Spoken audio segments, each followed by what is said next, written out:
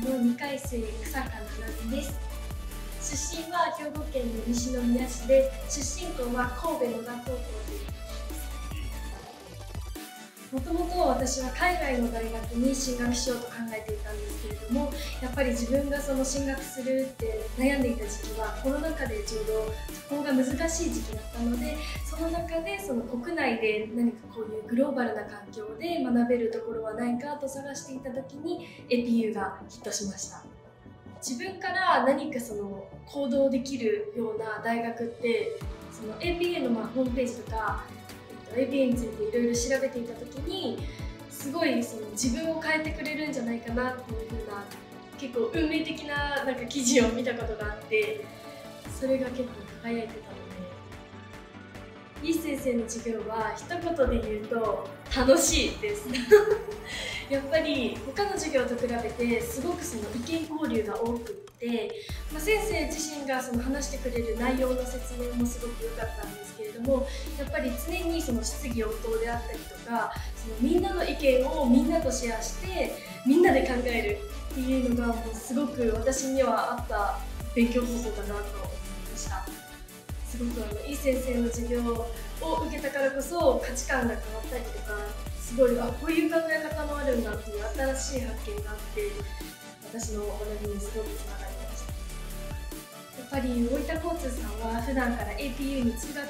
する際に使っている企業さんなので一番身近である企業さんにそういうお話を聞かせてもらえたっていうのが一番大きな貴重な経験だなと感じました。で今回はそのオーバークラフトとそのエアライナーの関係性というか今後の見通しについての新しい案を出すっていうテーマで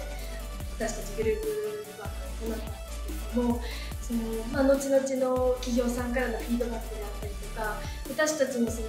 まあ、いろいろ出した案に対してのその意見というかもすごくあの濃い内容だったなと思いますしあとはその、まあ、企業さんから出していただいた講義の時にも私たちのその、まあ、生まれる前の過去の話も聞けてそれとあそういうこともあったんだっていういろんな気づきや発見がありました、まあ、大分交通っていうその企業さんの名前だけ聞くと交通事業だけなのかなと思っていたんですけれども他にもなんかちょっといろんな事業をやってたりもするっていうことも聞いてあすごいなんか企業さんとして結構身近な企業ではあるけれどちょっと大きな企業さんなんだなっていうふうに改めてすごいなと感心しました。私はやっぱりそのいろんな人と出会いがあるっていうことに一番 APU の良さを感じています。本当に国境を越えたその交友関係だったりとかあと学びの面においてもその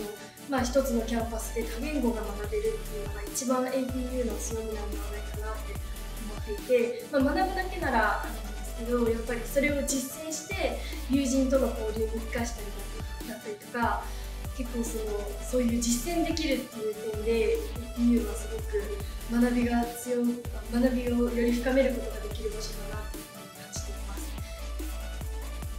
私は人と関わることが好きな人ならぜひ APU に来てほしいなと思います。ぱりその理由としてはこの多国籍であってすごい多文化な環境の中でいろんな人との出会いがあってその中でやっぱり授業においてもグループワークだったりとかたくさんの交流があったりそうじゃなくてもその普通に交友関係としてもすごくあの自分の領域をすごく広げてくれるような環境がここにはあるなと感じるから